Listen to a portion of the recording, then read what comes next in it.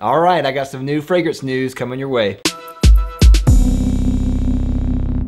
Hey Fragrance family, I'm Daver, I'm a Fragrance Bro. Of course, your best source for everything fragrance related. Today I have some news. Uh, the latest news of the latest things that have come out in the last couple of weeks.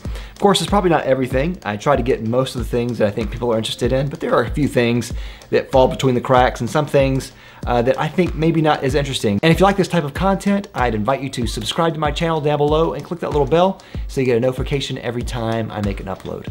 But let's go ahead and get straight to it. Let's get to the news. Porsche Design is coming out with a new fragrance, Porsche 180, which is one of the latest flankers in their line. The bottle looks pretty cool, and apparently you turn it 180 degrees and the sprayer pops up or the sprayer works. I'm not sure exactly how it works, but we'll find out once we get the bottles. The fragrance itself is supposed to be sweet, youthful, and woody, and it's supposed to follow a lot of the trends of modern masculine fragrances, such as Creed Aventus and Paco Rabanne's 1 Million. That is a really wide disparity there.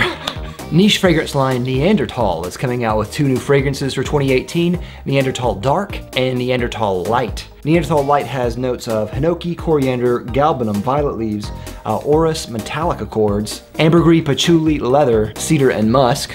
Neanderthal Dark has notes of uh, green foliage, ginger, pink pepper, grapefruit, pine, frankincense, geranium, algae, cumin, vetiver, patchouli, oud, ambergris, musk, leather, sandalwood, tobacco, and labdanum. That sounds really interesting. Frederic Malle is coming out with a limited edition version of seven of his classic fragrances. The bottles of these are all inspired by legendary uh, architect and glassmaker Carlos Scarpa, and the bottles themselves are personally signed by the perfumers who created them. Dior is releasing J'adore Absolu, which should not be confused with uh, 2007's Dior J'adore L'Absolu or 2012's Dior J'adore L'Absolu.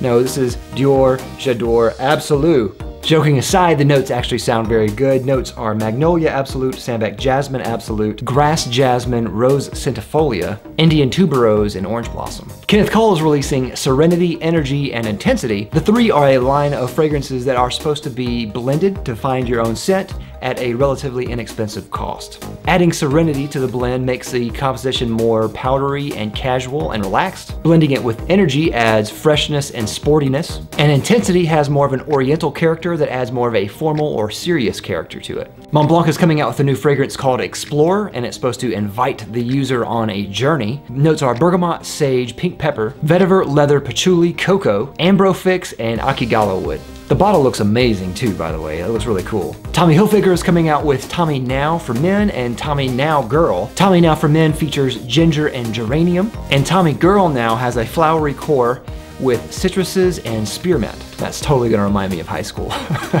Ralph Lauren is coming out with Ralph Lauren Collection Saffron, which is part of the Ralph Lauren Collection, kind of a private blend line of sorts for Ralph Lauren, and each of the fragrances in the collection is supposed to be reminiscent of trips, journeys, and cultures around the world. Collection Saffron is the newest addition to this line. It has notes of grapefruit, cardamom, black pepper, saffron, davana, suede, and amber woods. Yves Saint Laurent is releasing new limited edition fragrances of black opium and Mon Paris, and these are the gold attractions editions, and these are just new bottles. So the same juice inside, just kind of gold bottles. Versace is releasing Eros Flame, which is a flanker to 2016's Eros. Notes are lemon, mandarin, chinotto accord, black pepper, rosemary, pepperwood, geranium, rose facets, cedar, patchouli, vetiver, tonka bean, sandalwood, and vanilla. And this is gonna be in an eau de parfum concentration.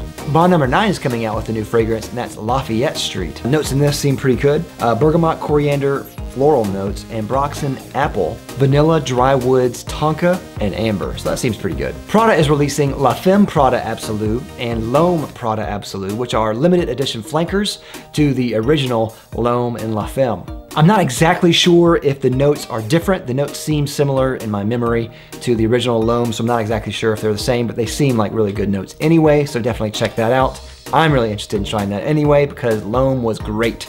DS and Durga is coming out with four new exclusive limited edition fragrances uh, of Duran Duran scents. Now apparently these are exclusive to Liberty of London. Now these four scents are obviously inspired by Duran Duran songs and those are Come Undone, uh, Hungry Like the Wolf, You Kill Me With Silence, and Skin Divers. I probably won't ever get to smell those, but they sound interesting. French niche line Olfactive Studio is coming out with a new sepia collection. They're inspired by the photography of Martin Hill, and they're created by perfumer Bertrand Duchaufour.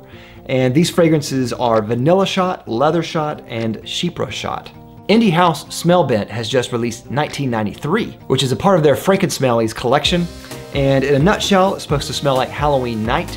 Notes are cauldron of black pepper, sparkling root beer, uh, rich chocolate, flaked coconut, blood cedar, and red patchouli and it's inspired by one of their favorite movies, Hocus Pocus. Jacques Bogart is releasing Club 75 VIP, which is a flanker to Club 75, released in 2016. It's inspired by speakeasies and is a fresh, modern fougere scent. Notes in this are bergamot, grapefruit, ginger, cinnamon, lavender, peppermint, cardamom, cedar, leather, and sandalwood. Zara has released two new lines. Uh, one is the Molecules and one is the Naturals.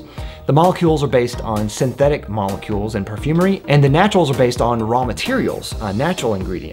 The molecule line has three, and that is Ambrox, Cashmeran, and Coranol. There are four fragrances in the naturals line, and that is Osmanthus, Cardamom, Vanilla, and Vetiver. With that, I'd like to thank my sponsor, Fragrance X. Fragrance X is an online retailer that sells thousands of legitimate fragrances for a discounted price. If you're considering buying a fragrance, definitely check out Fragrance X. I'll have a link down below to them as well as a coupon. And that's all I have for the news this week. Let me know what you like, what piques your interest down below. Let me know in the comments, of course. And if you haven't already, please like and subscribe down below. I love you for it. Did I miss anything? Let me know. I'll see you next time. I'm Dave the Fragrance Bros. Bye.